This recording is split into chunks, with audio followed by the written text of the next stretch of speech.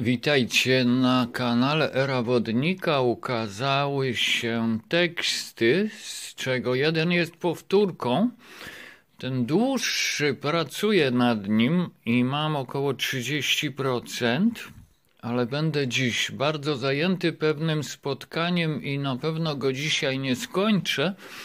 Ja wam jeszcze raz przeczytam to, co się ukazało. Ten tekst już znalazłem, on był w czerwcu i nosi tytuł Pożegnanie z minionym życiem. Kochani, przemieszczają się duże kawałki naszego świata zewnętrznego i wewnętrznego. Jest to czas przemian.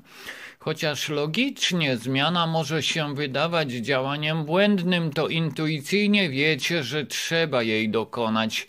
Dlatego też możecie czuć się zdezorientowani, ale logiczna część Was trwa w kwestionowaniu potrzeby zmian, podczas gdy wewnętrzna wie, co należy czynić.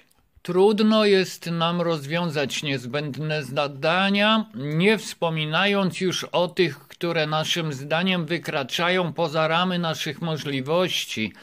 Zadania, z którymi kiedyś łatwo sobie radziliśmy, teraz mogą wydawać się ponad siły i zbyt skomplikowane.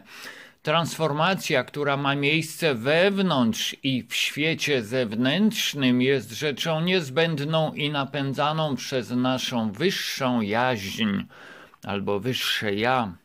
Wyczerpanie, które wielu ludzi odczuwa, jest wynikiem walki o zachowanie tego, co było. Kiedy przechodzimy do tego, co jest, to jest to pożegnanie z tym, co było.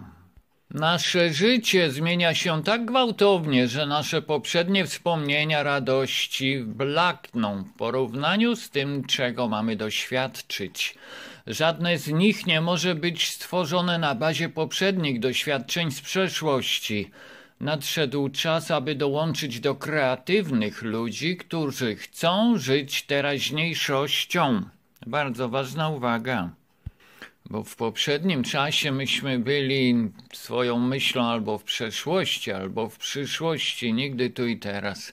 Czytam dalej. Zakończyliśmy swoje lekcje w świecie trzech wymiarów. Nie musicie już dłużej żyć w strachu z powodu wielu stuleci ziemskich doświadczeń w tym środowisku. Pozwólcie sobie się dowiedzieć, że jesteście nowymi istotami również i na zewnątrz. Wdzięczność Wam wszystkim i błogości Wam wszystkim. Dobrego dnia.